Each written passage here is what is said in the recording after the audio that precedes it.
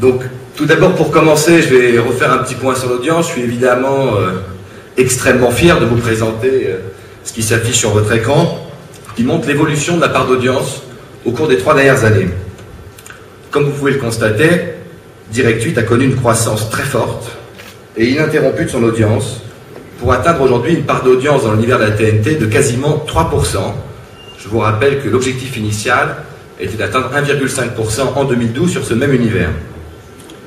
Ce succès s'explique pour nous par un double phénomène. Le premier est un phénomène d'attractivité de la chaîne qui, par son positionnement généraliste, réunit désormais plus d'un Français sur deux chaque semaine. Le deuxième phénomène est un phénomène de qualité des programmes qui fait que les téléspectateurs regardent Direct 8 de plus en plus longtemps à chacune de leurs visites.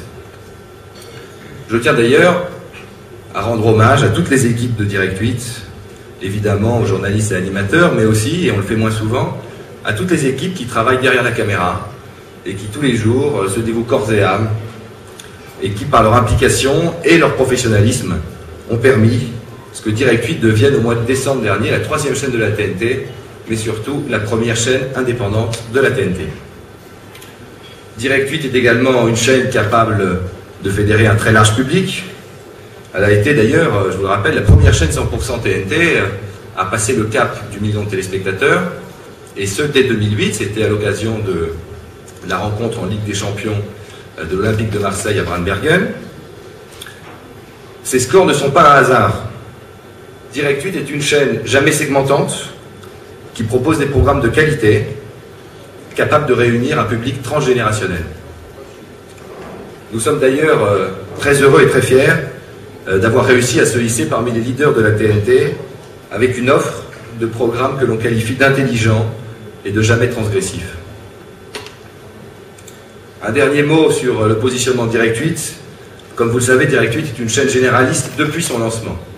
D'ailleurs, le premier claim, euh, le premier slogan, pardon pour l'anglicisme, de Direct 8 était Direct 8, la nouvelle grande chaîne généraliste. Et je me rappelle lors de mon arrivée euh, euh, chez Bolloré 2006, tout le monde nous disait de faire une chaîne généraliste sur la TNT, ça ne marchera jamais, vous serez en concurrence frontale avec les chaînes historiques il faut faire en TNT des chaînes de complément sur le modèle de ce qui s'est fait euh, sur le câble et satellite.